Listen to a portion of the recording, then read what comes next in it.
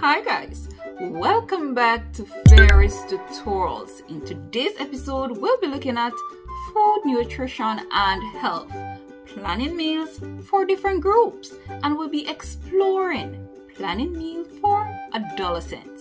Stay tuned.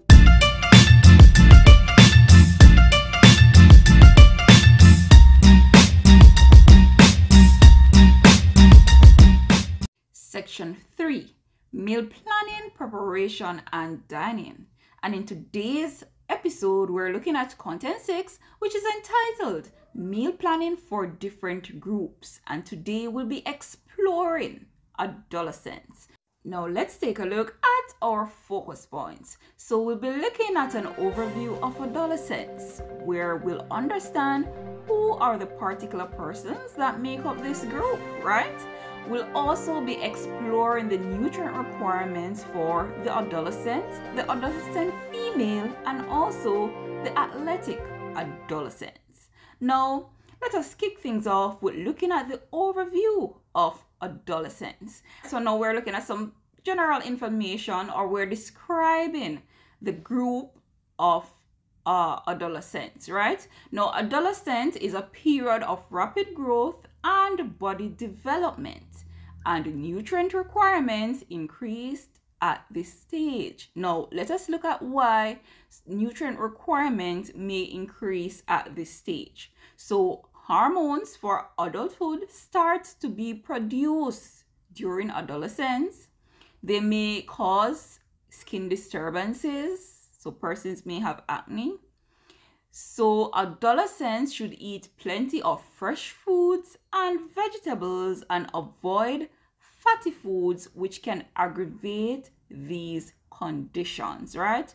Now, we're going to look in detail and explore some additional nutritional needs for adolescents. And remember that adolescents is another name for who? Teenagers. Awesome.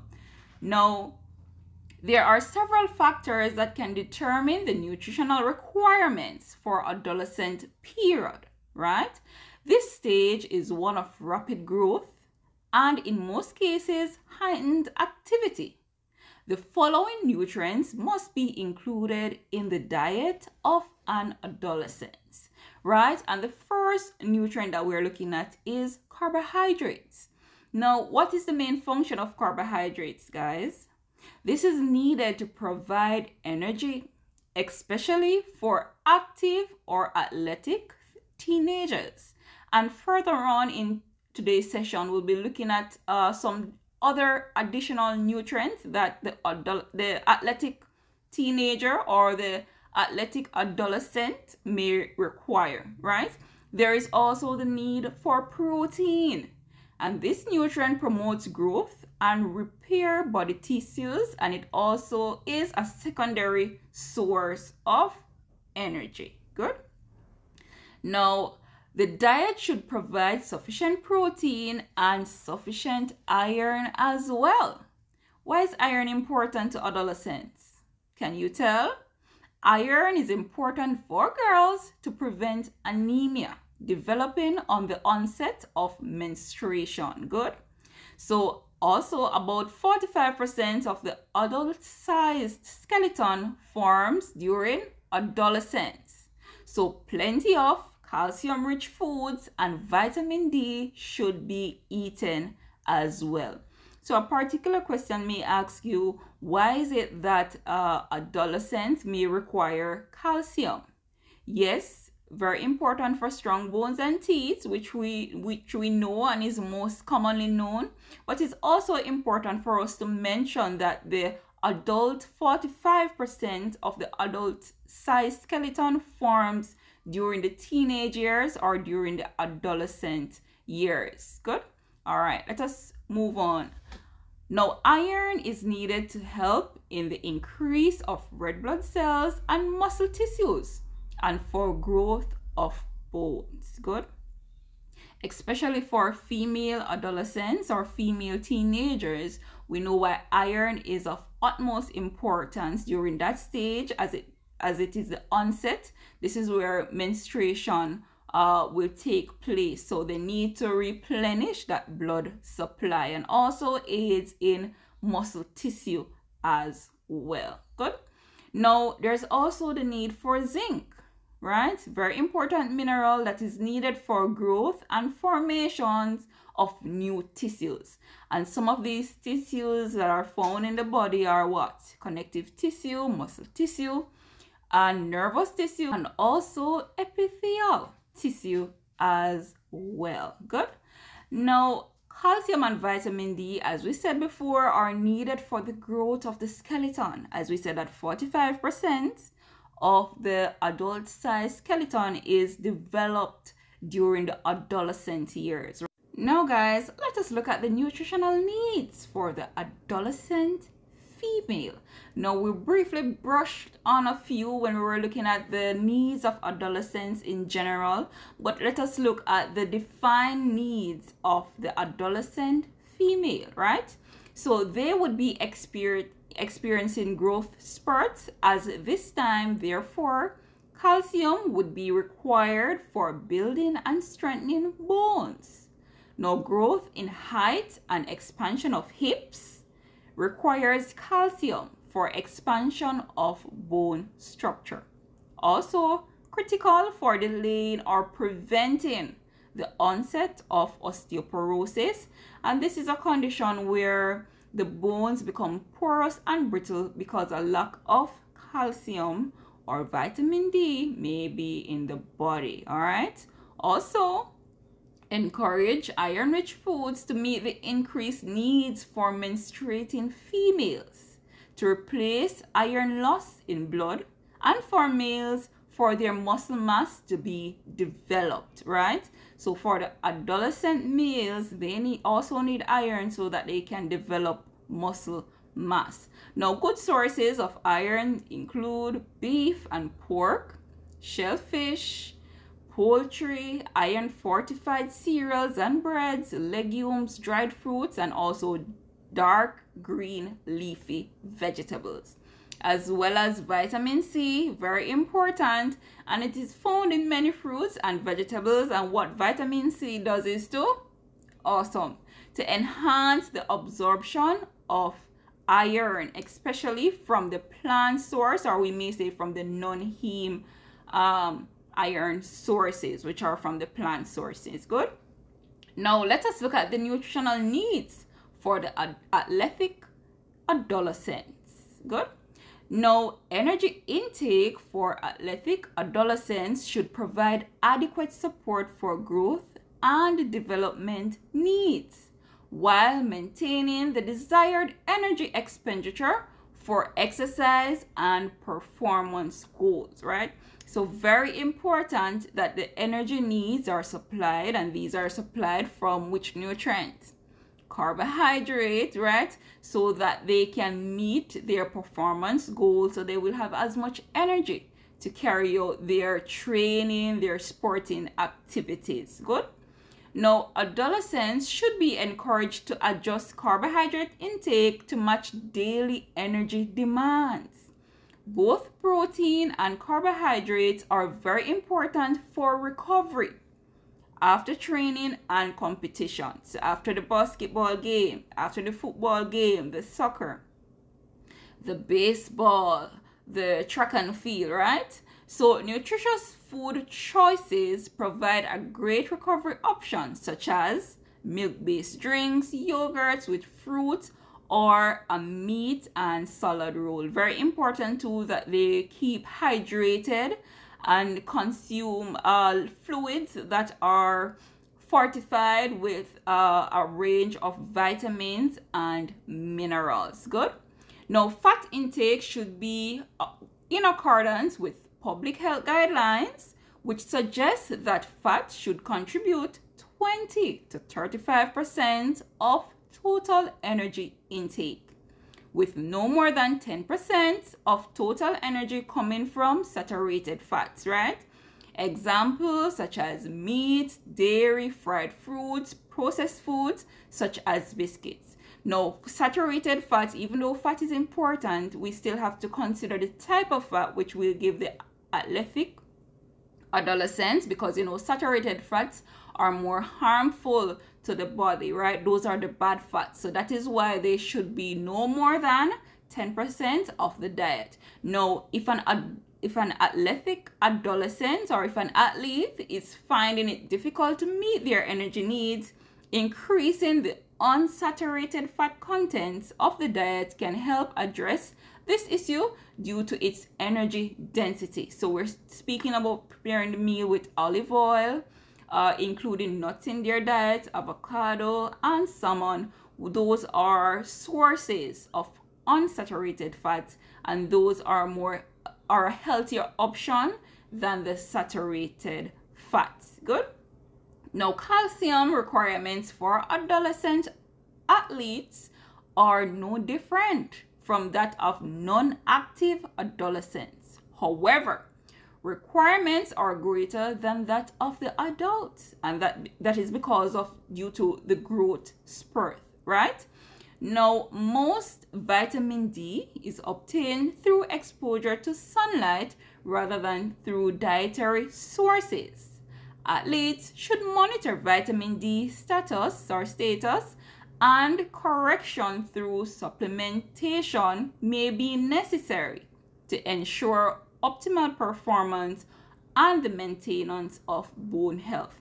Because if they're physically active the bones have, have has to be strong as well. So you may find out that they may have to consume also products that are fortified and enriched with vitamin D right? Now let us look at some tips for healthy eating in teens right so invite teens to help plan menus, grocery shopping, choose new foods, find healthy recipes, and also to help clean up after meals. Encourage teens to make their own snacks and meals like breakfast. Watch for signs of an eating disorder, extreme concern or fear about the body weight and shape right? So some teens may refuse to eat, right? They may engage in excessive exercising, laxative abuse, where they force themselves to uh, export whatever they are taking in their body by induced vomiting or taking taking laxatives so that they can pass it out uh, uh, by having diarrhea, right? And also vomiting after meals. So we have to look out for concerns of anorexia nervosa and also bulimia nervosa, right? So anorexia nervosa is an eating order where teenagers, mostly affect teenagers or females, female, especially persons who are in the modeling industry, right? So they refuse to eat uh, the calories that should maintain their bodies, right? While some persons just eat and then they take laxative, which is bulimia, force themselves to throw up. So we have to look out for those things within the teenage years. Those are problems that affect teenagers and so forth. We have to think about tips for helping them to eat healthy. All right. Now, for your question on your exam, you may get to plan a breakfast, a lunch for a teenager. And so it may be, it may specify the type of adolescent or teenager. It may be, it, may specify that the person is athletic or female teenager. So, or just the adolescent, right? So whichever meal that you get to plan, whether it's be breakfast, lunch, or dinner, it is very important for you to follow the standards of writing a breakfast menu and also the standard of writing a lunch or dinner menu right? So for the breakfast you know you that what? We'll think about all those nutrients that we think we just thought of and their sources in order to plan an adequate meal right? So we include fruit or fruit juice remember we spoke of say for instance we're planning for the adolescent female right? So for breakfast we could have what orange juice. For the cereals we could have a fortified um, cereal right? Ready to cook ready to eat cereal sorry. Or we may have um, cornmeal that is enriched with vitamin um, A or D right? For protein remember we go for easy to cook protein. But in this case if we're planning for adolescent females, you know, that would need an iron source, right? as well. So we could probably do liver or kidneys or uh, for the carbohydrates, you know that uh, it may be a quick bread or ground provisions depending on the culture and also hot beverage. Now a lunch and dinner menu is very much similar as a one course menu but what makes a dinner different is the type of products that we select and if we have a lunch within that day and also the different courses. So you know that dinner menus can have more than one courses. Maybe a two course right? Three four right? But in this case if you ask for a lunch you know you need to include your protein item your carbohydrates and your vegetables. And of course you know beverage is always optional. But if we're planning it is nice for us to include a beverage especially a vitamin c beverage if we have iron listed there in the menu right? Now there's also questions on you uh questions that are there for you to plan foods based on a multi-mix principle. Now this is normally done for toddlers but just in case you get it for an adolescent you know it's the same principles that apply right? So, you know, a double mix would consist of what? Which food group would have to have staples as a must in all the groups, and then you may add legumes, or you may have staples and food from animals. As it relates to triple mix, we may have staples, legumes, food from animals, or stapled food from animals and vegetables. And for the quadruple mix, you know, we use the four food groups, which are staples, legumes, food from animals, and vegetables. So those are four, food groups that are normally used within the multi-mix principle, right? Fat is not included because guess what? We can get fat from food from animals, right? So, and also fruits are not included as well because the vitamins and minerals that we get from the vegetables would suffice, right? So the multi-mix principle only uses four food groups of which staples is always a constant, right? So we have to have staples in there and then we add the other food groups based on the amount of mixes that you're required to plan. Now we're at our questions, right? Plan a nutritionally adequate menu for an adolescent female. Four marks. Minerals, though required in small amounts, are essential for normal functioning of the body.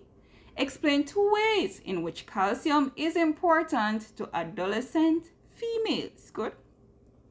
Based on the tutorial, you should be able to answer this question. And finally, explain two ways in which iron is important to adolescent females. Two marks. And it is very important to note, guys, that these questions are all past paper questions. You are awesome. You've made it to the end of the video. Please remember to subscribe, like, turn on your post notification bells so you can be notified when there's another upload. Most importantly, share with persons who you know will find this information useful. Thank you for making it Fairy's tutorial.